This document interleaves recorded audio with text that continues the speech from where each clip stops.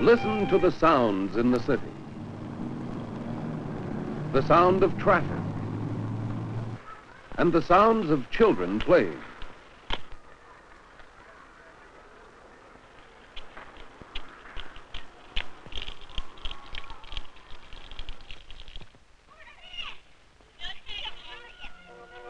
But where is that music coming from?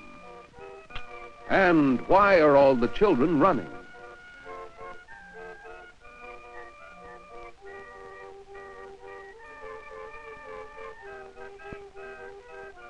Of course, it's the organ grinder and Miko the monkey. Almost every day, all summer long, Miko and Mr. Russo come to the park. Mr. Russo cranks his organ, and Miko collects pennies from the children and puts them in his pocket. He's supposed to tip his hat, but sometimes, sometimes he forgets, and Mr. Russo tugs gently to remind him. What fun to watch the monkey.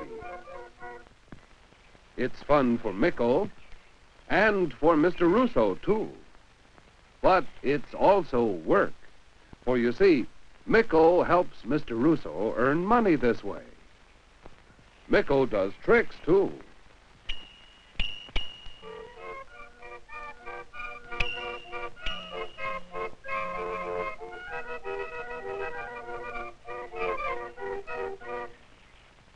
Miko knows many tricks that Mr. Russo taught him.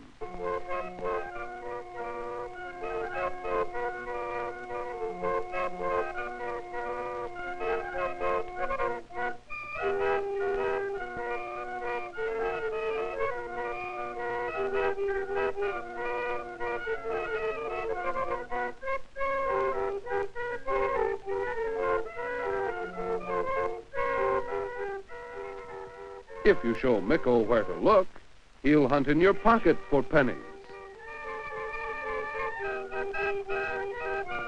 If you hold a penny in your hand and close your fist, Miko will sneak his paw right inside your fingers. So, every day, all summer long, the children come to the park to see Mr. Russo and Miko. One morning, Mr. Russo got Miko ready to go out to the park, just as he always did. But this time, Mr. Russo began to think how many years he had been going to the park every day, how old he was growing, how heavy the organ seemed. Mr. Russo thought he would sit down and rest for a few minutes just for a few minutes before he started off to work. Miko didn't understand that at all. He wanted to go to the park to see his friends, the children. But then Mr. Russo began to nod sleepily. And Miko slipped the leash right out of his hand. Miko stood up in a chair and chattered. But Mr. Russo still wouldn't get up and go to the park.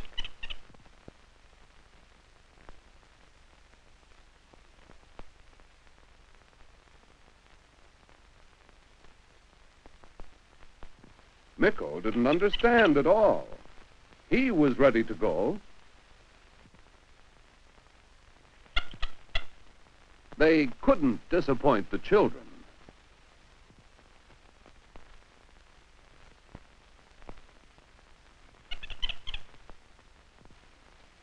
Then. Miko would go to the park by himself. So out through the window he went. And down, down, down the stairs. It was a long way down.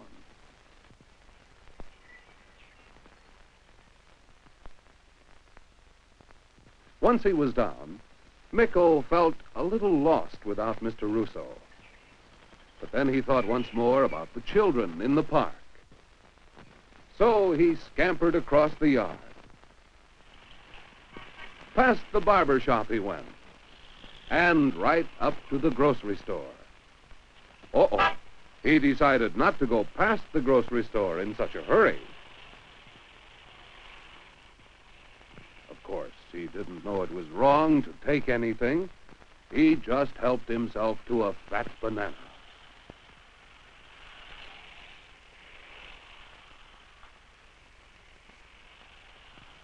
Miko was puzzled. For a moment, he didn't know what to do. Then he jumped down off the stand. Right past the grocery store he scampered. Past the clothing store. Past the florist shop. And right up to the corner. But which way to the park?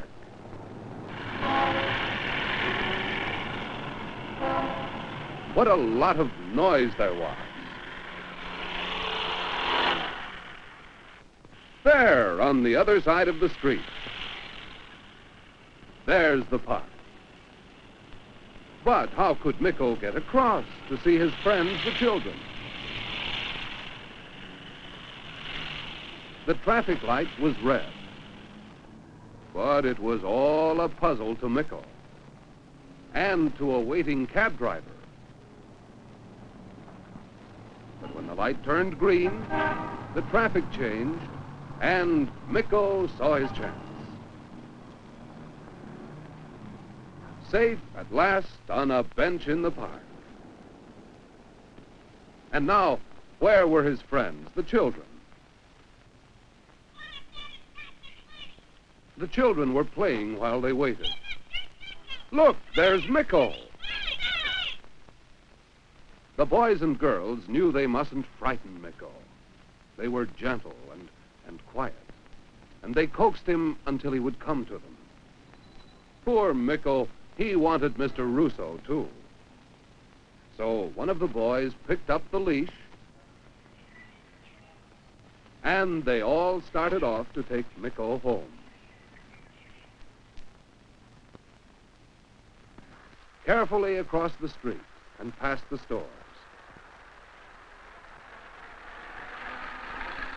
Past the florist shop. Past the clothing store.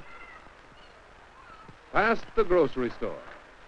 Don't worry, Mr. Grocer. Miko's master will pay for the banana. Past the barber shop they went. And right into the backyard of Mr. Russo's house. Miko knew where he was then. Up, up, up the stairs he went. And right through the window, back into Mr. Russo's house. Believe it or not, Mr. Russo was still asleep.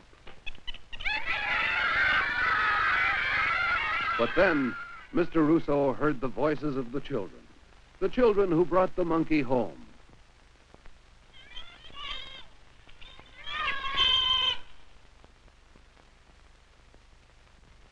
My, but Mr. Russo was surprised to see so many boys and girls right in his own backyard. So, right away, Mr. Russo went to get his organ. And Miko swung out through the window again to entertain his friends.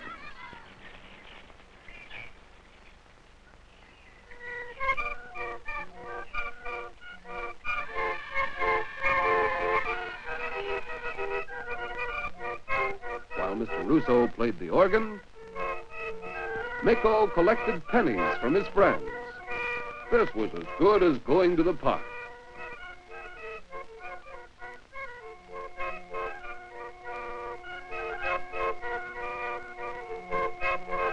And best of all, Mr. Russo was happy to know that when he couldn't go to the park, the children would come to see him in his own backyard.